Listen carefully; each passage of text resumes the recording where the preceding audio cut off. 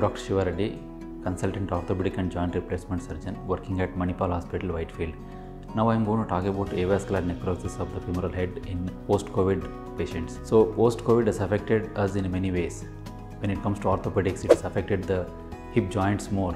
It usually affects the young patients around 30 to 50 years age group and it is commonly affected both the hip joints. Avascular necrosis of the femoral head is nothing but it's a damage to the blood circulation to the femoral head where the bone breaks down and leads to collapse of the bone and uh, damage to the joint affecting the movements of the joint and leading to arthritic changes of the joint. Avascular necrosis of the femoral head goes through multiple stages starting from stage 0 to stage 4.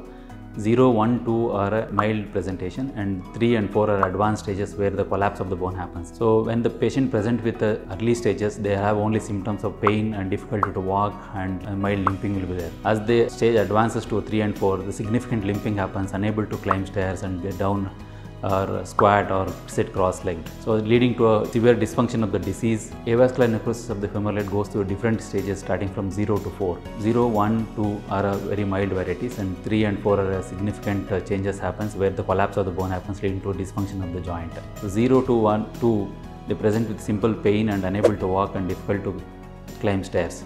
And 3 and 4 where the collapse happens, the, the joint dysfunction leading to significant limping and unable to walk, unable to squat, unable to sit cross-legged. So the, when we detect in early stages by doing MRI scan or X-rays, so which help us to see the joint detection of avascular necrosis of the femoral head in early stages is very important.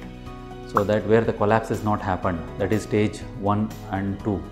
So in the early stages, treatment becomes very easy, where it's a medical management and a simple surgeries like core decompression and bone marrow aspirate concentrate injection is possible to reduce the progression of the disease or to treat the disease itself. So unfortunately, sometimes in spite of the treatment options, it can lead to a progress to a stage 3 and 4 where the collapse happens. In that stage, only total hip replacement is only answer.